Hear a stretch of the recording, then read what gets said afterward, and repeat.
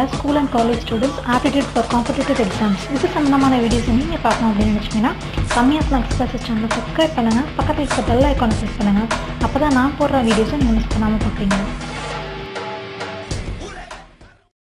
High views இன்றைக்கி நம்ம பார்க்க போகிறது டொப்பாலஜியில் ஹாஸ்ட் ஆஃப் ஸ்பேஸோட டெஃபினேஷன் என்ன அப்படின்னு பார்க்குறோம் ஸோ டெஃபினேஷன்ஸ் எக்ஸாம்பிள்ஸ் எல்லாம் சேர்த்து பார்க்குறேன் ஸோ ஹாஸ்ட் ஆஃப் ஸ்பேஸ் அப்படின்னா ஸோ இப்போ வந்து எக்ஸாம்பிள் நான் வந்து டெஃபினேஷன் சொல்லிடுறேன். சொல்லிவிட்டு அதை எப்படி அப்படிங்கிறத எக்ஸ்பிளைன் பண்ணணும். எக்ஸாம்பிள் மூலமாக நான் எக்ஸ்பிளைன் பண்ணுறேன் ஓகேவா ஸோ பார்த்தீங்கன்னா topological space X is called Hausdorff space அதாவது ஒரு ஸ்பேஸ் எக்ஸ் அந்த எக்ஸுங்கிற கேபிட்டல் எக்ஸ் டோப்லாஜிக்கல் ஸ்பேஸை எப்போ ஹாஸ்ட் ஆஃப் ஸ்பேஸ் அப்படின்னு சொல்லுவோம்னா அந்த எக்ஸ்லேருந்து எடுக்கிற ரெண்டு எந்த ரெண்டு பேர் ஆஃப் பாயிண்ட்ஸுக்கும் ரெண்டு நெய்பர்ஹுட் எக்ஸிஸ்ட் ஆகும் ஓகேவா அந்த ரெண்டு நெய்பர்ஹுட் வந்து எப்படி இருக்கும்? டிஸ்டிங்க்டாக இருக்கும்னு சொல்கிறாங்க சரியா? ஸோ ஒரு டோபாலஜிக்கல் ஸ்பேஸ் எக்ஸுங்கிறத எப்போ ஹாஸ்ட் ஆஃப் ஸ்பேஸ்னு சொல்லுவோம்? எக்ஸிலேருந்து எடுக்கிற ரெண்டு பாயிண்ட்டு ஓகேவா எக்ஸிலேருந்து ரெண்டு பேர் ஆஃப் பாயிண்ட் எடுப்போம் ஓகேவா எக்ஸ் ஒன் எக்ஸ் ஒன்று ரெண்டு பேர் ஆஃப் பாயிண்ட்ஸ் எடுப்போம். ஸோ ஒவ்வொன்றுக்கும் வந்து ஒவ்வொரு நெய்பர்ஹுட் எக்ஸ் ஒனுக்கு ஒரு நெய்பர்ஹுட் எக்ஸ் டூக்கு ஒரு நெய்பர்ஹுட் எக்ஸிஸ்ட் ஆகும். இது ரெண்டும் எப்படி இருக்குமா? இன்ட் அதாவது டிஸ்டிங்க்டாக இருக்கும். அதாவது இன்டர்செக்ஷன் பண்ணும்போது எம்டியாக இருக்கும் அப்படின்னு சொல்கிறாங்க சரியா? ஸோ இதுதான். அதாவது தட் இஸ் ஆக்சுவலாக என்ன மீனிங் அப்படின்னு பார்த்தீங்கன்னா அந்த நெய்பர்ஹுட்ஸ் வந்து இன்டர்செக்ட் பண்ணும்போது எம்டியாக இருக்கும். அதுதான் தட் ஆர் டிஸ்டிங்க்ட் அப்படிங்கிறது. ரைட்டா ஸோ இப்போ வந்து பார்த்தீங்கன்னா எக்ஸாம்பிள் பார்த்தோன்னா நான் வந்து எக்ஸை ஒன் டூ த்ரீன்னு எடுத்துக்கிறேன். டவ்வை வந்து எக்ஸு எம்டி செட்டு ஒன்று two one two one three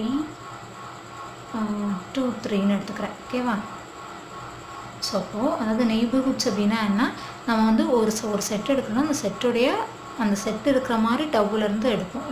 டவுலேருந்து எடுப்போம் இல்லையா அந்த ஓப்பன் செட்டு ஸோ அதுக்கு நெய்பர்ஹுட் அதாவது அதுக்கு சூப்பர் செட் அதை எடுக்கிறது தான் வந்து நம்மளுக்கு நெய்பர்ஹுட் ஓகேவா ஒரு நம்பர் ஒரு நம்பர் எடுக்கிறோம் அப்படின்னா ஒரு செட் எடுக்கணும்னா அந்த செட் இருக்கிற மாதிரி டவுலேருந்து ஒரு செட் எழுதுவோம். ஓகேவா ஒரு நம்பர் ஒன்றுன்னு எடுக்கிறேன்னா அந்த ஒன்று இருக்கிற மாதிரி நான் செட்டு வந்து நான் பார்த்து எழுதுவேன். ஓகேவா அந்த செட்டுக்கு சூப்பர் செட்டு தான் என்ன சொல்லுவோம்? நெய்பர்ஹுட்னு சொல்லுவோம். ஓகேவா ஸோ இப்போ நான் என்ன எழுதுறேன் அப்படின்னா இப்போ நான் வந்து ஒன் டூ த்ரீ எழுதுறேன்.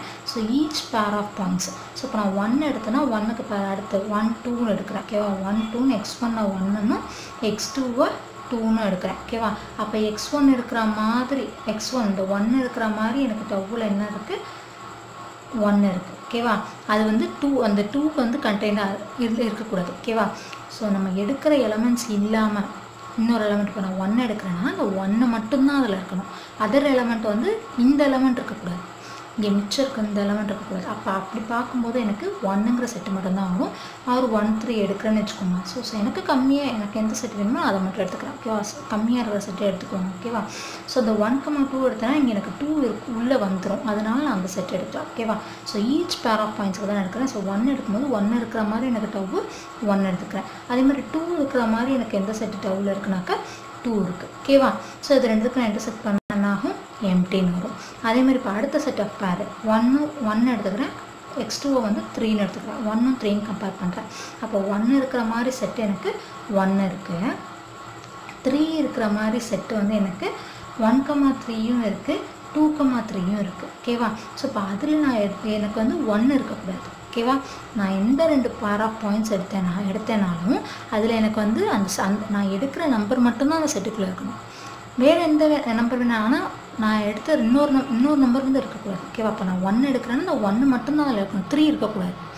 இங்கே எந்த ரெண்டு பேர் ஆஃப் எந்த ரெண்டு நம்பர் எடுக்கணும் அதில் இன்னொரு நம்பர் வந்து அதுக்குள்ளே இருக்கக்கூடாது. ஓகேவா இப்போ நான் த்ரீ எடுக்கிறேன்னா எனக்கு ரெண்டு செட்டில் ரெண்டு செட்டு இருக்குது ஓகேவா அதில் எனக்கு ஒன்று இருக்கக்கூடாது. அப்போ எனக்கு இந்த செட்டு வராது. இந்த செட்டு மட்டும்தான் வரும். ஓகேவா டூ கமா த்ரீ ஓகேவா? ஸோ இப்போ ரெண்டுத்துக்கும் இன்டர்செக்ட் பண்ணேன் அப்படின்னா எனக்கு என்ன ஆகும்? எம்டின்னு வந்துடும் அதேமாதிரி இப்போ நான் அடுத்த பேரை என்ன எடுக்கிறேன்னா எக்ஸ் ஒன்று டூன்னு எடுக்கிறேன் எக்ஸ் டூவை த்ரீன்னு எடுக்கிறேன். ஓகேவா? அப்போ டூ இருக்கிற மாதிரி செட்டு எனக்கு டூ இருக்குது ஒன் கமா டூ இருக்குது டூ கமா த்ரீ இருக்குது ஸோ அதில் எனக்கு நான் லீஸ்டான செட்டு கூட எழுதலாம். ஓகேவா? அப்போ நான் டூ எடுத்துக்கிறேன். ஓகேவா? அடுத்து நான் த்ரீ இருக்கிற மாதிரி செட்டு எனக்கு ரெண்டு இருக்குது அதில் எனக்கு என்ன இருக்கக்கூடாது? டூ இருக்கக்கூடாது. நான் எந்த நம்பர் எடுக்கணும் மீதி இருக்கிற அந்த நம்பர் வந்து வரக்கூடாது. ஓகேவா ஸோ இப்போ நான் த்ரீ எடுத்தேன்னா டூ வரக்கூடாது. அப்போ எனக்கு இந்த செட்டு வராது இந்த செட்டு நான் எழுதலாம். த்ரீ இருக்கிற மாதிரி அதை தான் இந்த செட்டு எழுதலாம். அப்போ ஒன் கம்மா த்ரீ அப்போ இது ரெண்டுக்கும் நான் இன்டர்செக்ஷன் எடுத்தால் என்னவாகும்? எம்டி ஆகிடும் ஸோ எந்த ரெண்டு பேர் எடுத்தாலும் அதோடைய ஓப்பன் செட் அதாவது நெய்பர்ஹுட் வந்து என்னவாயிடுச்சு? எம்டி இருந்துச்சு அப்போ இந்த செட்டு வந்து எனக்கு ஹாஸ்டா ஸ்பேஸ் ஓகேவா ஸோ இப்போ அனதர் நேம் ஹாஸ்டா ஸ்பேஸ்க்கு இன்னொரு நேம் என்னன்னு பார்த்தீங்கன்னா another name for Hausdorff spaces separated ஸ்பேஸ்ன்னு சொல்லுவாங்க. ஓ டி டூ ஸ்பேஸ்ன்னு சொல்லுவாங்க. ஓகேவா ஹாஸ்டா ஸ்பேஸ்க்கு இன்னொரு name separated space T two space ஏன் செப்பரேட்டட்னு சொல்கிறோம் இது வேறு செட்டு அது வேறு செட்டுன்னு செப்பரேட் பண்ணி பிரித்ததுனால அது வந்து செப்பரேட்டட் ஸ்பேஸ்னு சொல்கிறோம் அவர் இன்னொரு நேம் பார்த்தீங்கன்னாக்கா அது டூப்பில் இருந்த டி டூ ஸ்பேஸ்ன்னு சொல்லி சொல்லுவோம் சரியா? ஸோ இப்போ வந்து நான் எக்ஸாம்பிளில் சொன்னேன் இல்லையா? ஒரு டயக்ராமில் சொல்கிறேன் பாருங்கள் இப்போது நான் வந்து ஒரு ஹோல் ஸ்பேஸ் எக்ஸ் எடுத்துக்கிறேன். ஓகேவா அதிலிருந்து நான் ரெண்டு பாயிண்ட் எடுக்கிறேன். ஏங்கிற பாயிண்ட்டு பிங்கிற பாயிண்ட் எடுக்கிறேன் ஓகேவா ஸோ ஏங்கிற பாயிண்ட் இது பிங்கிற பாயிண்ட் இது. அப்போ இதுக்கு ஒரு நெய்பர்ஹுட் யூ ஒன்று ஒன்று எக்ஸிஸ்ட் ஆகுது. இதுக்கு ஒரு நெய்பர்ஹுட் யூ டூன்னு எக்ஸிஸ்ட் ரெண்டும் வேறு வேறு. ஆனால் நான் வந்து டிஸ்டிங்க்ட் பாயிண்ட்ஸ் தான் நான் எடுக்க போகிறேன் டிஃப்ரெண்ட் பாயிண்ட்ஸ் இல்லையா? ஸோ நான் எக்ஸில் இருந்து ரெண்டு பேர் ஆஃப் பாயிண்ட் வேறு வேறு பாயிண்ட் ஓகேவா ஸோ அந்த வேறு வேறு பாயிண்ட் எடுக்கிறதுனால எனக்கு இங்கே வந்து இன்டர்செக்ட் ஆகாது. இது வேறு பாயிண்ட்டு இது வேறு பாயிண்ட்டு அப்போ இதுக்கு ஒரு யூன் ஒரு ஒரு எக்ஸ் எக்ஸிஸ்ட் ஆகும். இதுக்கு யூ டூன்னு ஒன்று எக்ஸிஸ்ட் ஆகும். ஸோ ரெண்டையும் நான் இன்டர்செக்ட் பண்ணால் எனக்கு என்னவாகும்? எம்டி ஆகிடும் ஓகேவா இதுதான் சிம்பிளாக சொல்லணும்னா இதுதான்.